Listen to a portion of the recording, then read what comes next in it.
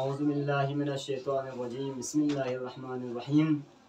آج ماہ عمر رمضان کا سترواں دن ہے، اسی مناسبت سے سترویں دن کی دعا۔ بسم اللہ الرحمن الرحیم۔ اللہم احدنی فیہ لصالح الاعمال۔ پروردگارہ آج کے دن مجھے نیک عمل بجا لانے کی ہدایت دیں۔ ماہ مبارک رمضان خود نیک عمل بجا لانے کا مہینہ ہے۔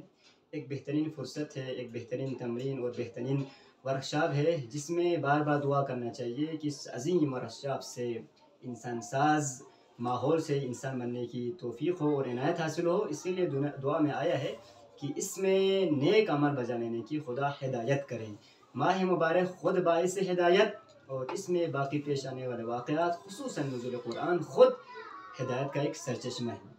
اگر ارشاد ہوتا ہے وَغْلِ فِي حَبَائِجَ وَالْأَمَال اے میرے معبود، اس میں میری حاجتیں اور خواہشیں پوری فرما۔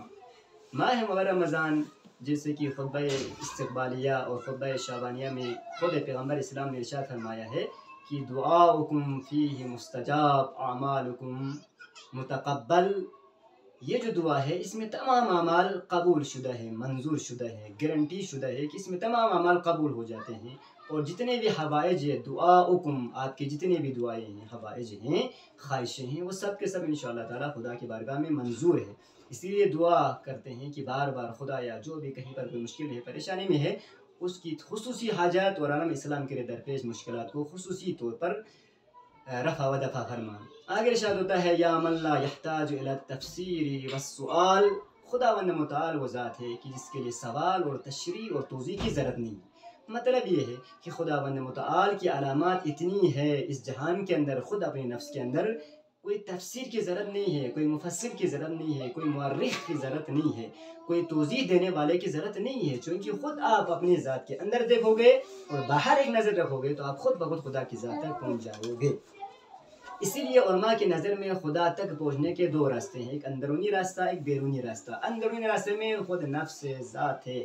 عقل ہے، اپنی ذات ہے، انفاس سے نفس ہے، لیکن بیرونی راستہ جہاں پر نظام ہے، نظام احسن ہے، اسی پر بہت ساری دلیلیں بھی قائم کی جا چکی ہیں کہ بہت ساری چیزیں ہیں جس سے ہم خدا کی طرف متوجہ ہو سکتے ہیں۔ خدا کی آیات کی طرف ہم متوجہ ہو سکتے ہیں، لہٰذا خدا کی ذات کوئی تفسیر کے محتاج نہیں۔ آگے ارشاد ہوتا ہے، یا عالما بما فی صدور العالمین۔ خدا ون متعال کی ایک بہترین صفت یہ ہے کہ خدا ون متعال اس اہل عالم کے درمیان جتنے بھی لوگ ہیں، اہل عالم میں جتنے بھی سینے ہیں